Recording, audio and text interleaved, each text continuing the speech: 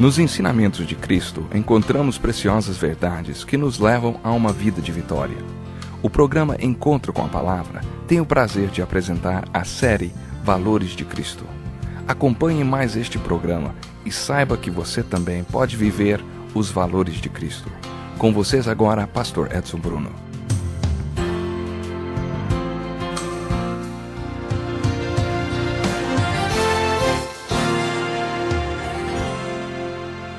Junte-se a nós para mais um estudo dos valores de Cristo. Dentro desta série de estudos sobre o sistema de valores de Jesus, estamos estudando o valor que Jesus deu a Ele mesmo e a pessoas como nós, pessoas que Ele descreveu como pobres de espírito, pessoas espiritualmente cegas, cativas e feridas. Também nos referimos a estas pessoas como os perdidos desse mundo e temos identificado através dos evangelhos o valor que Jesus deu a elas. Depois vimos o valor que Jesus deu ao amor e, finalmente, o valor que Jesus deu à sua obra. Cada vez que identificamos um desses valores, somos desafiados a confessá-los em nossas vidas. Por isso, o objetivo desse curso não é apenas identificar os valores de Cristo, mas também confessar que estes valores são nossos. No estudo de hoje, eu gostaria de falar com vocês sobre o valor que Jesus deu ao seu ensino.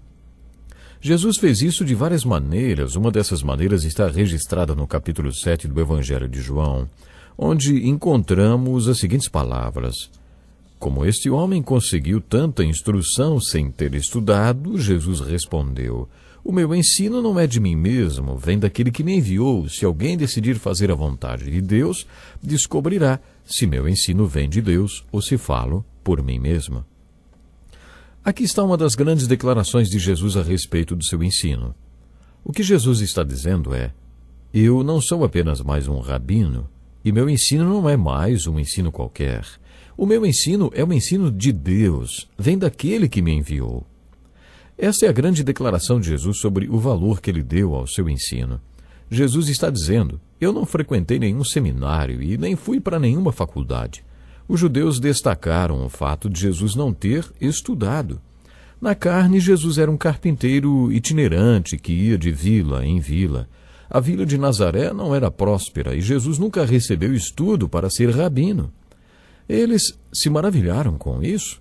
Jesus não tinha frequentado nenhuma escola de rabinos e o que o ensino dele e o que o ensino dele não vinha dele mesmo, mas daquele que o tinha enviado. Depois de fazer esta declaração a respeito do seu ensino, Jesus também diz que o seu ensino era de Deus e era a palavra de Deus.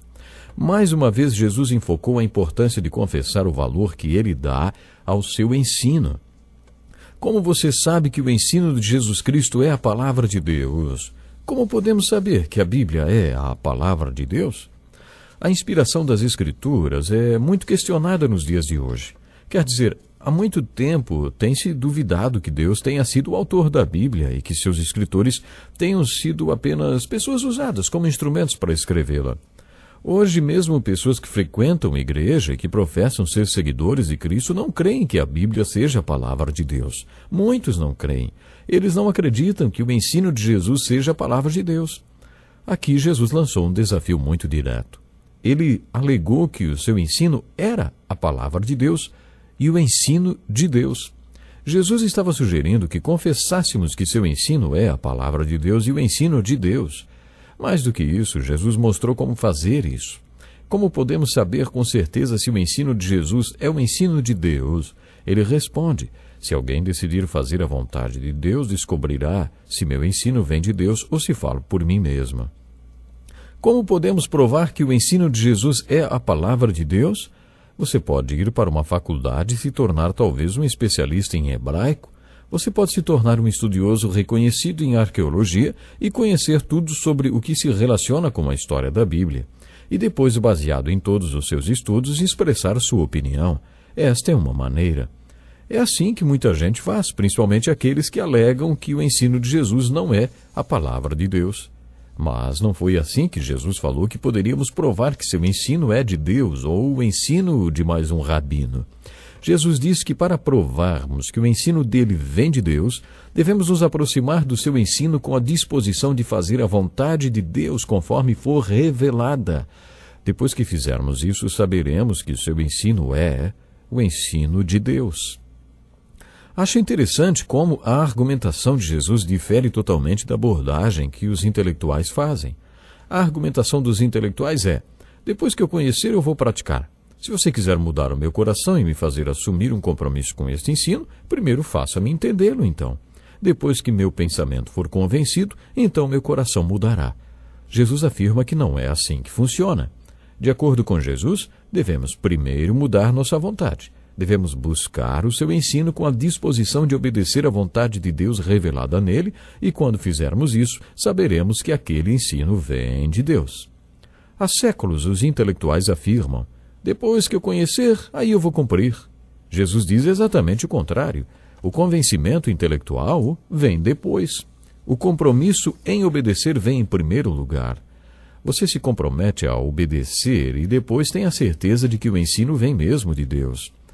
Considere um dos ensinamentos de Jesus como a ilustração do que estamos falando. Existem mais ou menos 500 ensinos de Jesus aos quais ele se refere. Um deles é: a maior felicidade em dar do que em receber. Você acha que este é mais um ensino de mais um rabino que passou pelo mundo?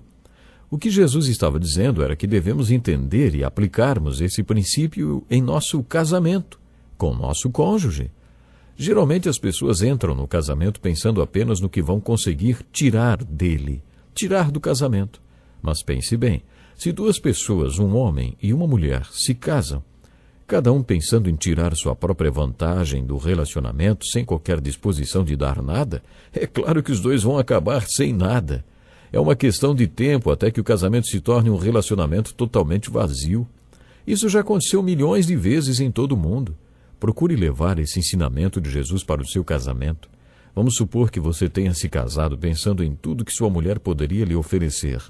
E que ela também tenha se casado pensando apenas do que iria ganhar com esse casamento. E que depois de um tempo os dois achassem que não estavam faturando nada com este relacionamento.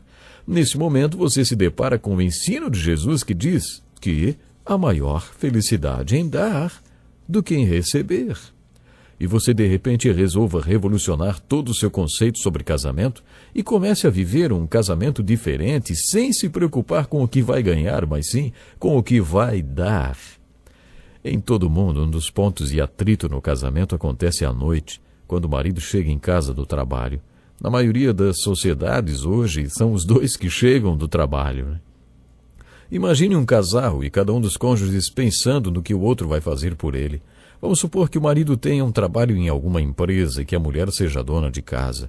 Agora imagine que este marido entra em casa pensando no interesse da mulher e não nele mesmo. Imagine que ele entre em casa imaginando como sua mulher pode estar se sentindo depois de ter passado o dia inteiro sozinha com as crianças, sem conversar com nenhum adulto. Talvez ela esteja se sentindo engaiolada e queira sair um pouco, não é? Ele, pelo contrário, passou o dia todo fora, tendo de tratar de diferentes assuntos com diferentes pessoas, talvez pessoas até indesejáveis, e esteja cansado de falar com tanta gente e queira um pouco de sossego. A única coisa que ele quer é chegar em casa e encontrar sossego. Mas quando ele chega em casa, diz para a mulher: Amor, vá se arrumar. Quero levá-la para jantar fora hoje.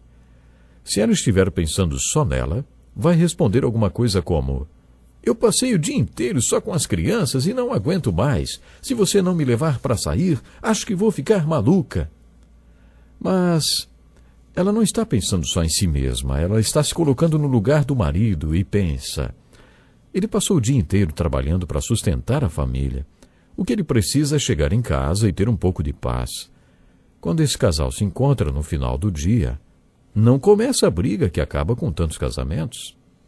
Imagine o seguinte: o marido chegando em casa, convidando a mulher para sair e a mulher recusando, dizendo que prefere não sair para que ele relaxe em casa. Esse tipo de diálogo não quebra casamentos. Você entende a profundidade do ensino de Jesus? Você pode revolucionar o seu casamento se o aplicar no seu relacionamento conjugal, familiar ou profissional também. Esse princípio pode revolucionar todos os seus relacionamentos. Jesus está nos dizendo se você quer ter certeza que o meu ensino vem realmente de Deus, então ponha-o em prática. Quando você fizer isso, verá o impacto que isso causará na sua vida. Isso o convencerá que o meu ensino não é apenas o ensino de um rabino qualquer, mas é o ensino de Deus. O meu ensino é o ensino de Deus. O meu ensino é a palavra de Deus. Eu lhe pergunto: você está disposto a considerar o valor que Jesus deu ao seu ensino? Você está disposto a confessar o valor que Jesus deu ao seu ensino, aplicando na sua vida? Você quer aplicar o ensino de Jesus Cristo nos seus relacionamentos e provar que ele é realmente a palavra de Deus? É muito importante você pensar sobre isso. Sabe, relembrando aqui, nós tivemos oportunidade de hoje acompanhar um pouquinho mais sobre o valor que Jesus deu ao seu ensino. E Jesus fez isso de várias maneiras. Uma dessas maneiras está registrada no capítulo 7 do Evangelho de João, onde encontramos a palavra: Como este homem conseguiu tanta instrução sem ser estudado? Jesus respondeu: O meu ensino não é de mim mesmo, vem daquele que me enviou, vem do Pai. Se alguém decidir fazer a vontade de Deus, descobrirá se meu ensino vem de Deus ou se falo por mim mesmo. Aqui então temos a grande declaração de Jesus a respeito do seu ensino. O que Jesus está dizendo é: eu não sou apenas mais um rabino. O meu ensino não é mais um ensino qualquer. O meu ensino é o ensino de Deus, vem daquele que me enviou. Esta é a grande declaração de Jesus sobre o valor que ele deu ao seu ensino. Jesus está dizendo: Eu não frequentei nenhum seminário, não fui para nenhuma faculdade. Mas sim, ele veio do Pai, eu vim do Pai. Essa é a grande verdade. Bom, e você? Valoriza de uma forma especial o ensinamento de Jesus? O meu desejo é que Deus possa abençoar você, a sua vida e os seus relacionamentos. Quem sabe você está precisando mesmo mudar alguma coisa no seu relacionamento familiar, no seu relacionamento profissional, enfim, você está precisando mudar algo. Pense nesse ensinamento de Jesus a melhor coisa é dar do que receber. Talvez você está precisando se doar um pouco mais para sua esposa ou vice-versa. Pense nisso, ore a Deus. Meu desejo é que Deus lhe abençoe de uma forma muito especial com todos aqueles que vivem à sua volta. Até o nosso próximo programa. Não esqueça, vamos continuar estudando os valores de Cristo. Até lá. Que lição importantíssima. Obrigado, Pastor Edson Bruno. Prezado ouvinte, coloque em prática o que você ouviu aqui. Sem dúvida, sua vida será grandemente abençoada. Este é um estudo escrito pelo Dr. Dick Woodward, na voz do Pastor Edson Bruno. Escreva-nos e solicite o material. Nosso endereço é Encontro com a Palavra, Caixa Postal 2011, CEP 89201-970, Joinville, Santa Catarina. Até o nosso próximo encontro com a palavra.